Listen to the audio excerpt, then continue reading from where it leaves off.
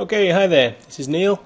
In this video we're going to take a look at why you need to choose either a www URL or a URL, URL without the www for your website. Now many people create a website and they leave both instances of www and the URL without the www live on the internet and can be accessed by people. Now, most people don't realize that this can be damaging to the to, to the rankings of your site, and I'm going to show you the reason it's you should choose one and how to choose one and redirect to the other one in case you don't know. First of all, um, let's think of it this way, okay? Let's say you have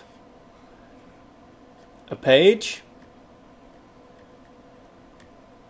that has your www and then also of course you have your page of not www.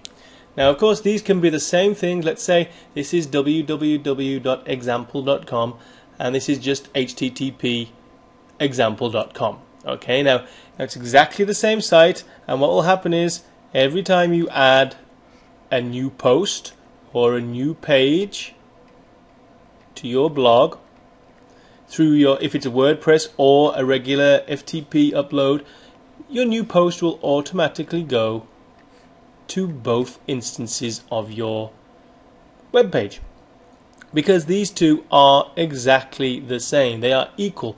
They are they hold exactly the same content.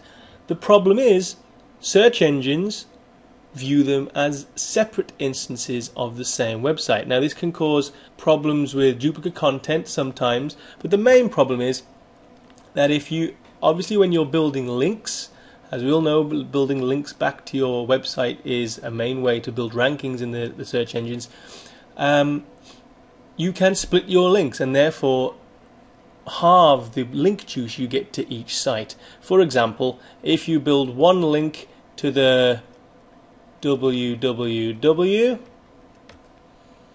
and that of course will just head to the www and that will give you backlinks to this instance of your site only. And of course if you have a link that is not www it will come to this one.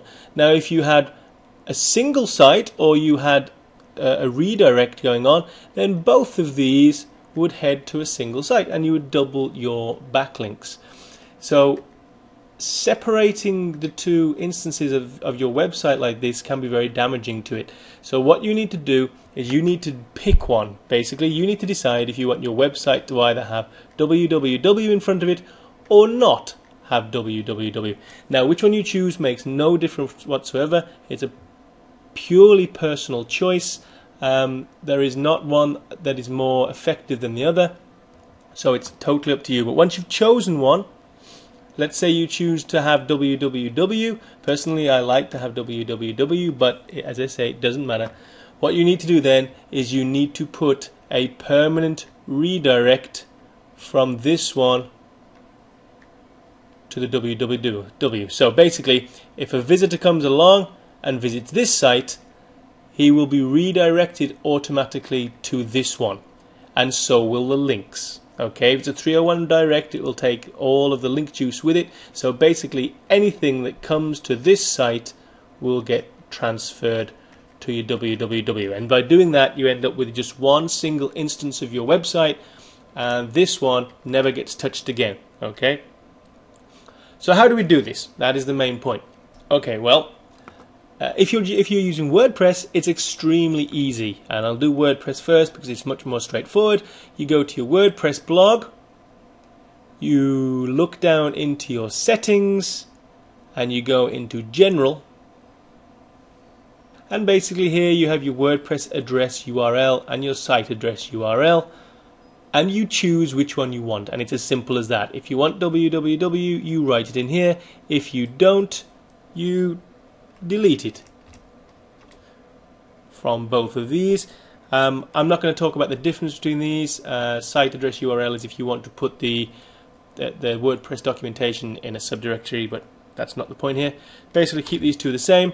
Save that, and this will become your WordPress URL, and there will be an automatic redirect created from the www. Okay, and obviously I like to have the www, so now, and I keep it like that. So basically, if someone types in my address, http best baby carrier reviews.net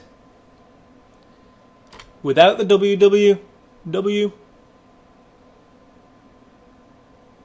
it redirects to the www. And I haven't done anything else other than go into settings and change that in my general page. Now that's easy, that's straightforward. What happens if you're not using WordPress? What happens if you're using a regular HTML page and uploading it by FTP or whatever? Then you need to go to your hosting account. I use Bluehost, so I go into my Bluehost hosting account to my cPanel. If you're on VDeck, then go to that. Uh, but if you're on cPanel, you need to go to your cPanel account and basically click on redirects. This one here. Okay, once you're at this page, uh, you want to leave it on a 301 redirect. You want it to be a permanent, you want it to be all the time. Every time someone goes to the one you don't want, you want it to redirect to the one you do want. Okay, so you need to pick your domain if it's on this host, obviously. Okay, I'm going to pick my Wealth Creation Online, and I'm only going to redirect the non-www. So do not redirect www, and you'll see that has now disappeared. So I'm redirecting http colon forward slash forward slash wealthcreationonline.com to www dot wealthcreationonline.com.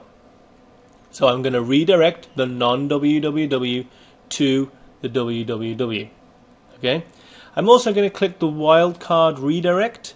So the Wealth Creation Online without H, without www, any directories under that, so wealthcreationonline.com forward slash blog, for example, if someone types that in, it will that will also automatically redirect to the www.wealthcreationonline.com forward slash blog directory. So everything under the umbrella of the non www will automatically write redirect to the www.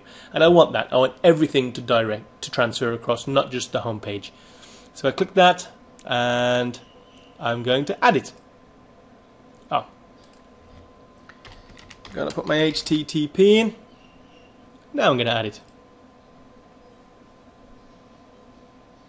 Okay, so wealthcreationonline.com now redirects to www.wealthcreationonline.com. Okay, now if you make a mistake, don't worry because this will always be in your hosting account, your cPanel, and you can go in and edit this at any time. And now that would, if I go into this one, http wealth creation online com. Should uh, be in effect automatically because it go this automatically goes to my hosting.